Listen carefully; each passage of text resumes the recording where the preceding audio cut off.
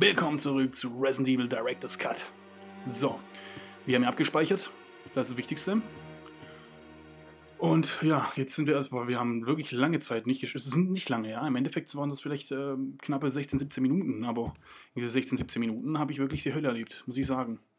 Und falls es hier jetzt scheitert, weil hier ist, ich habe wieder so ein dummes Gefühl, dass es hier wirklich in die Hose gehen kann, mit den ganzen Huntern hier. Weil ich muss, ich müsste überlegen, ich, ich habe wirklich von allen beiden Seiten würde ich jetzt angegriffen, was die Hunter natürlich angeht.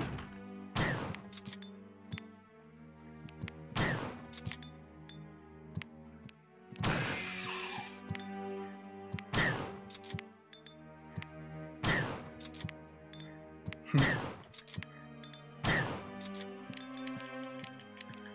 Ja. Finde ich doch nicht an, dass er so lange braucht zum Zielen. So, das hätten wir erstmal. Äh, nicht zum Zielen, sorry, zum Nachladen. Ist ja krass, oder? Er ist das Typ schneller im Rennen wie wir im Nachladen.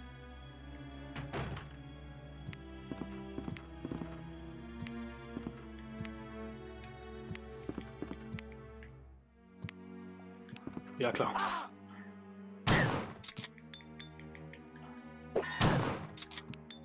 Ach, komm schon.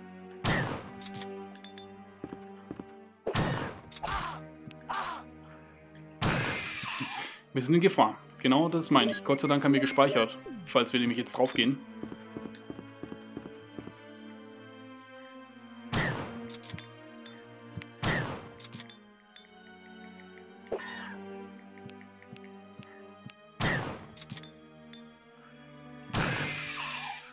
Falls wir jetzt draufgehen, haben wir schon gespeichert. War ja traurig, wenn wir jetzt einfach nur draufgehen würden. Wegen Diesen Drecksviechern. Echt. Ein Treffer und wir sind platt.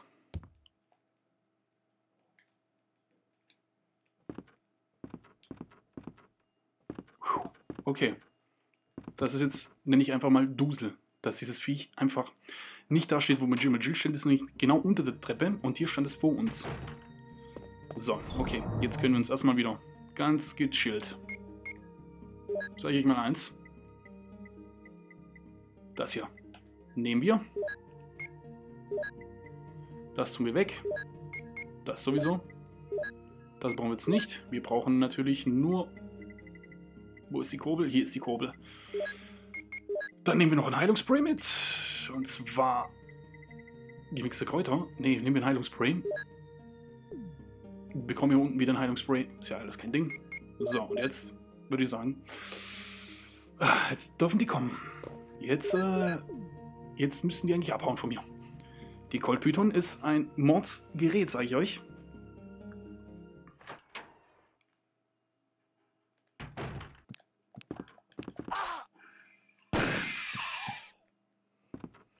Gott sei Dank hat das jetzt so gut wie nichts abgezogen.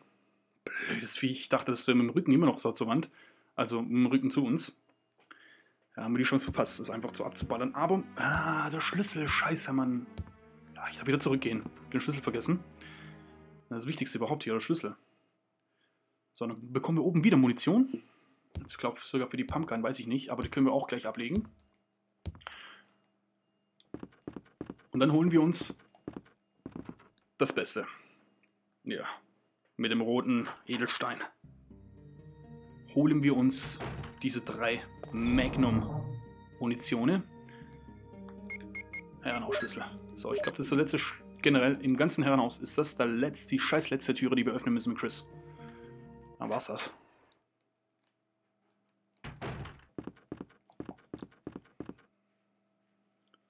Ich bin am überlegen. Immerhin, für Walkthroughs ist das natürlich auch was Gutes. Vielleicht würde ich da noch... Vielleicht. Also ich äh, sage jetzt nicht hundertprozentig, dass ich es vielleicht machen würde.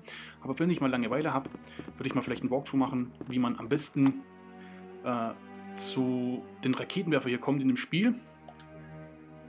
Am besten halt, ja.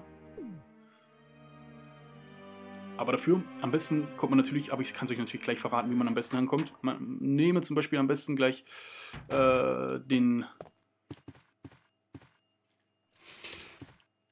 also man spielt es erstmal durch unter 5 Stunden, so dass man die Cold Python kriegt. Und wenn man die Cold Python hat, kann man dann einfach mal ja. Mit der Colt Python ohne Schuss ist das kein Problem mehr. Magnum-Geschosse. Aber, wie gesagt, um das zu machen, muss ich das unter 5 Stunden durchspielen. Okay, und ich sage jetzt von Anfang an, da ist dieses komische Bericht, dieser komische Bericht da, wo hier alles, ah, nichts Wichtiges. Äh, ja, aber den lese ich jetzt nicht, aus dem Grund, äh, den haben wir schon gelesen im anderen Let's Play. Wer lesen will, soll das andere Let's Play anschauen. Ähm, auf jeden Fall habe ich den jetzt, nehme ich den nicht, weil ich habe schon so viel Zeit verplempert, sonst schaffe ich das nicht unter die 5 Stunden. Und das wäre dann ärgerlich. Hallo? Ja, ich muss das jetzt machen so. Okay. Juwel mitnehmen. Hallo? Runter mit dir. So. Raus. Legen wir die Sachen ab, die wir nicht brauchen. Und jetzt würde ich sagen, ab geht's. Ab geht die Post. Jetzt können natürlich alle Hunter der Welt kommen. Ohne Probleme. Ich mach sie alle platt. Alle. Ich, wenn ich meine alle, meine ich alle. Denn hier können wir jetzt ein bisschen mit der äh, Cold Python rumballern. Wirklich, das macht jetzt wirklich nicht viel aus. Ich hoffe, dass ich in den nächsten 20 Minuten oder 15 Minuten unten im, in den Dings sein würde. Sagt's mir? Ja, in den Höhlen.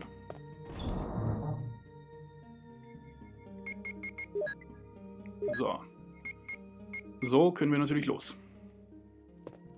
Okay, ich bin bereit. Ab geht's. Zu den nächsten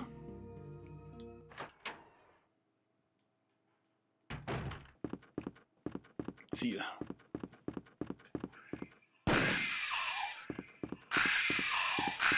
Fertig. So, drei Schuss haben wir noch und hier kommen ganz genau drei Stück von diesen Drecksviechern.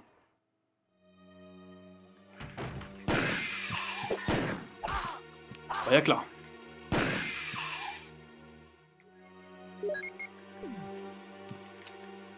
Ja, gut.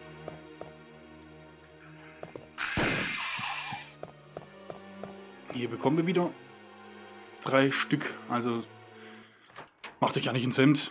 Und wir bekommen nochmal ein Magazin und das liegt unten. Da haben wir das mit Absicht nicht geholt, weil ich gucken will, ob hier auch die Videosequenz kommt mit den Dings.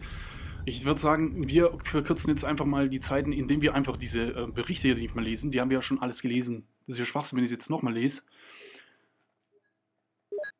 Die ganze Berichte. Klar, Videos können wir nicht wegdrücken. Aber wenn man sonst schaffe ich das nicht mehr unter die 5 Stunden und äh, ich möchte es schon gerne unter die 5 Stunden äh, schaffen, allein nur wegen, wegen der Cold Python. Ansonsten, wenn ich das jetzt so durchspiele, ohne die 5 Stunden, dann bekomme ich die Cold Python nicht. Habe ich das Gefühl? Weiß ich nicht. Die Kolpide mit nur die Schuss ist äh, natürlich äh, ein Muss. Klar, und unter drei Stunden bekommt man den Raketenwerfer. Aber dafür muss man natürlich auch wieder so eine Art Speedrun machen. Und das geht natürlich am besten mit der Colt Python. Das würde ich vielleicht irgendwann mal machen, als Walkthrough. Vielleicht an einem Stück sogar. Mal schauen. So, jetzt müssen wir natürlich durch drei Hunter nochmal. Drei oder sogar vier Hunter. Ja, da lobe ich mir doch diese Abkürzung beim Remake. Einfach schön durch den Friedhof gehen, zack, unten rein, bam, schon sind wir da. Aber egal. Gut, es muss so sein. Lieber hier entlang, denn unten wimmelt es auch so von, nur so von komischen Viechern. Aber hier, denke ich mal, haben wir die bessere Chancen, was das angeht. Hoffe ich doch mal. Es sei denn, die springen wieder so blöde. Weil es ist wirklich ein langer Gang ist das hier.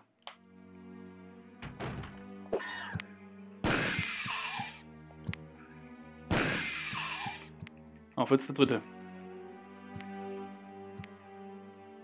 Ich höre ihn schon. Hör ihn? Tack, tack. Komm schon. Hat er ihn? Noch nicht. Noch nicht. Mann, lässt er sich Zeit. So. Das war's.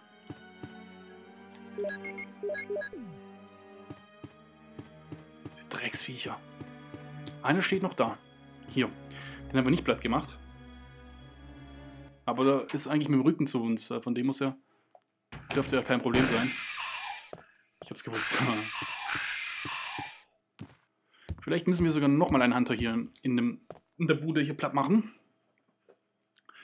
Normalerweise müsste jetzt das Video kommen, wenn ich jetzt da durchgehe. Normalerweise. Normalerweise. Ich versuch's mal. Achso, ja, ein Hunter kommt ja sowieso noch.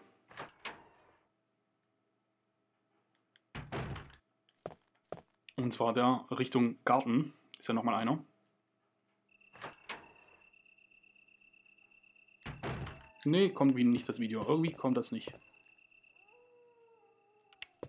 Keine Ahnung, was ich da machen muss, damit es kommt. Aber allerdings kommt es automatisch von im Remake, im Remaster. Remake, ja, je nachdem, wie ihr es nennen wollt. Remaster, Remake ist das gleiche. Also ist die gleiche Version, sagen wir so. Ist nicht das gleiche, aber ja, ist äh, die gleiche Version. Ist ein Remaster von einem Remake. Gut, dann würde ich sagen, gehen wir einfach mal in den Keller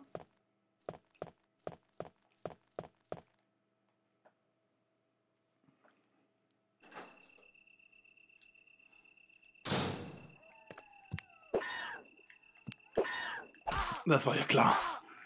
Dass ich hier noch... Boah, Gefahr. War ja klar.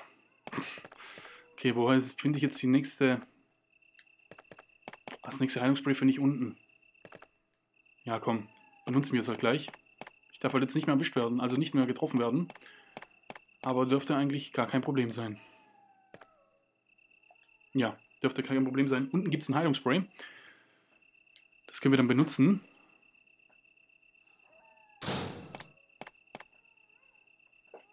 So machen wir das auch.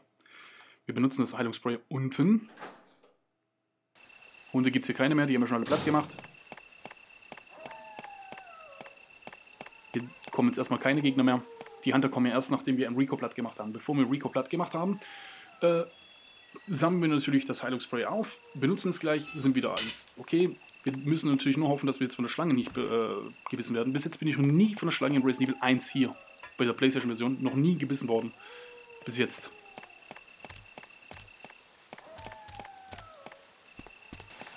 Und so bleibt es erstmal auch.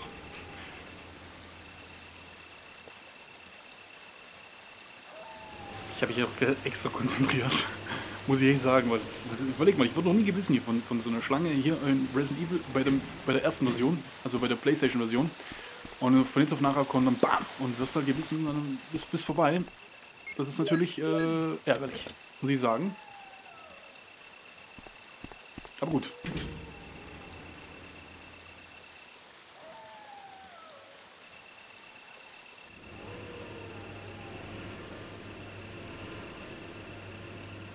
Ah, hier ist noch die Karte. Die brauchen wir nicht. Ach, blöde Karte, wer braucht denn sowas schon? Vor allem jetzt, nachdem ich hier schon alles erkundet habe, brauche ich auch keine Karte mehr. So. Übrigens, habe ich schon erwähnt, dass ich mir bei Resident Evil Zero einen Coop-Modus wünschen würde. Glaube ich, habe ich schon erwähnt. Glaube ich bestimmt schon 10.000 Mal, oder? Ich bin bestimmt schon 10.000 Mal damit auf den Sack gegangen. Ja, schon wieder. Ja, halt so was Neues. Immer nur die gleichen Kamellen. Ja, Coop-Modus bei Resident Evil Zero. Ja, aber ich wünsche mir das irgendwie so. Das richtig geil. Das war richtig, das ist das perfekte Spiel für ein Let's Play Together. Das war perfekt. Aber wer weiß, bis. Äh, kann ja sein, dass es vielleicht so, deswegen so lange dauert, bis es rauskommt. Ich meine, Remake gibt es ja schon seit Februar 2015 und ich denke mal, ab Februar 2016 wird dann auch das Zero rauskommen. Das ist auch so lange her, Februar 2016. Aber gut, ich würde es mir natürlich holen. Wieder doppelt und dreifach, wie ich es mir jetzt auch schon geholt habe. Doppelt und dreifach, weil ich das unterstützen möchte. Ich habe mir die äh, Originalfassung aus äh, Japan geholt. Also die Disc-Version, ja, mit der ich irgendwie nicht klarkomme. Aus dem Grund, denn in Japan äh, läuft es so, ähm, wenn ihr vor dem Gegenstand steht, müsst ihr die äh, Kreistaste drücken. Und danach könnt ihr auch mit X bestätigen. Aber zuerst müsst ihr die Kreistaste drücken. Ich verstehe den Sinn dabei nicht, aber es ist halt so. Keine Ahnung.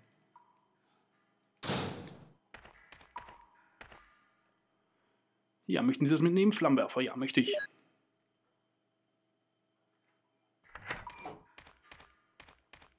So, der Flammenwerfer ist gut für äh, dieses Drecksviech da.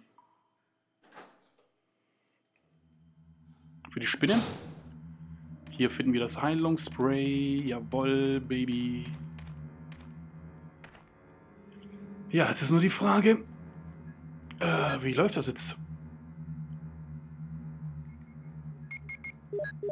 Wegen dem Messer. Wenn ich das jetzt mitnehme, kann ich das Messer daran noch mitnehmen? Kann ich eben nicht. Denn ich, hier gibt es ja keine... Ich könnte jetzt eigentlich nicht mal mehr die, die Kurbel mitnehmen eigentlich. Ist ja krass. Das ist so blöde gemacht. Das heißt, ich muss jetzt erstmal wieder komplett rausgehen. Ja, geil. Ich muss jetzt erstmal wieder komplett raus. Ja, ist ja toll. Erstmal die, die ganze Kurbel und so alles ablegen wieder. Na toll. Ja, es muss so sein. Geht nicht anders. Double Crosser. Enrico! Don't come any closer, Chris. Wait, what happened? Spieler. Du spielst mit gezinkten Karten. Hell. So, aber jetzt können wir natürlich äh, die Kurbel nicht mitnehmen. Ach, geil. Echt toll. Wie will man das unter 5 Stunden schaffen, wenn man die ganze Zeit solche Scheiße am Laufen hat? Ja, gut, okay. Es muss so sein. Double crosser? What did he mean by that?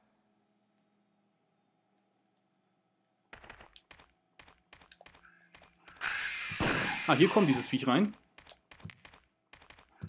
Hier kommen gleich zwei Stück. Mit äh, Chris. Ja, gut. Wir müssen hier erstmal kurz aufräumen.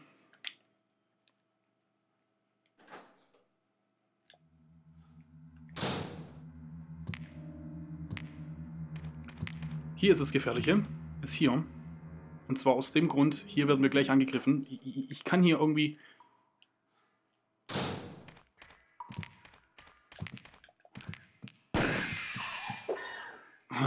You, sag ich dir. Okay. Das war jetzt echt gut.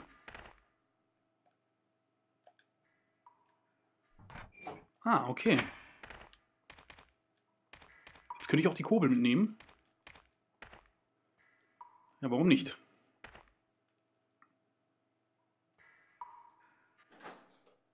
Müssen wir wohl so machen. Okay. Jetzt nehmen wir die Kurbel mit. Ja, ich wollte äh, mit dem Flammenwerfer die Spinne platt machen, aber naja, geht nicht. Müssen wir halt so machen. Nehmen wir die Kurbel mit und mit dem Magnum. Aber mit dem Magnum brauchst du wirklich scheiß viel Schüsse, Mann.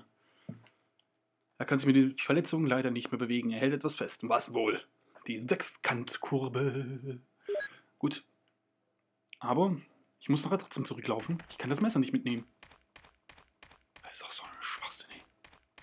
Warum man da nicht einfach eine Kiste macht wie beim Remake. Oder dass man erst im Remake drauf kommen muss, dass da an der Schreibmaschine eine Kiste hingehört. Ja, ist traurig. Boah, ich bin jetzt fast in den Tod gelaufen. Aber nur fast.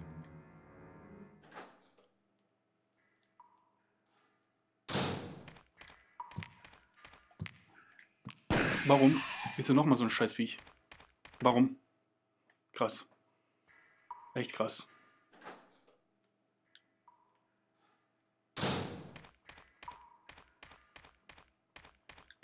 Ja, okay, gut. äh, Dann wollen wir mal. Ich denke mal, wir vielleicht sollten wir ja erstmal zurückgehen.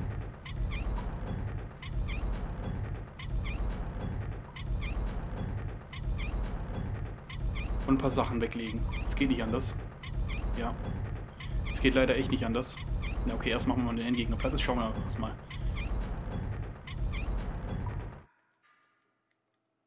Jetzt schauen wir erstmal. Klar, ich kann den Flammenwerfer natürlich auch nicht mitnehmen.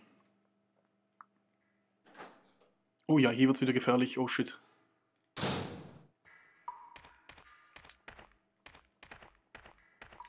Hier wird sich das scheiße gefährlich.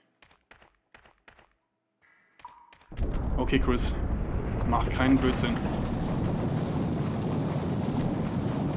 Jawohl. Geschafft. Da drüben ist also wieder Schrotflintenmunition. Okay, da kommt wieder so ein scheiß Viech rein jetzt. Ja, war mir klar.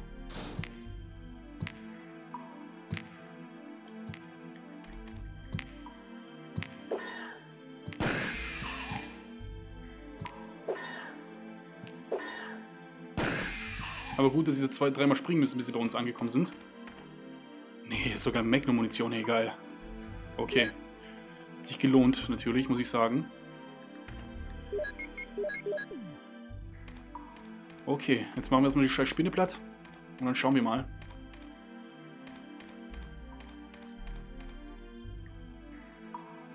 Ist doch scheiße, oder? Dass wir nicht durchkommen. Wegen diesem Scheiß.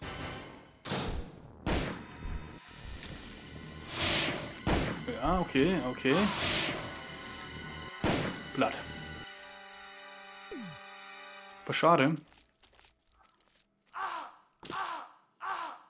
Okay, das war jetzt, äh, das war nicht cool. Das war sehr uncool. Okay. Schade.